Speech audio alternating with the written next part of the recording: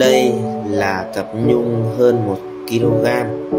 thuộc dòng VIP của trang trại ngôi sao tím tài mọi người nhé. À, mọi người có ai thích à, ngắm nhung hiêu như tài không ạ? Vừa nuôi nhưng mà ngày nào cũng phải ra rất nhiều lần để ngắm những cặp nhung nó lớn từng ngày như thế này thì để được một cặp nhung như thế này thì trang trại tím tài cũng phải nuôi chăm sóc vất vả đến một năm nếu trông ở ngoài tự nhiên nếu một cặp nhung này không được thu hoạch thì con hiêu nó đến một thời điểm nó cũng sẽ ngứa và rất là khó chịu. À, và nó sẽ à, tự uh, làm gãy cái cặp nhung này và rơi ngoài à, tự nhiên mọi người nhé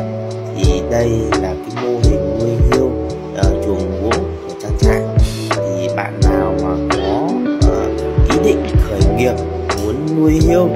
muốn học cách chăm sóc hiêu uh,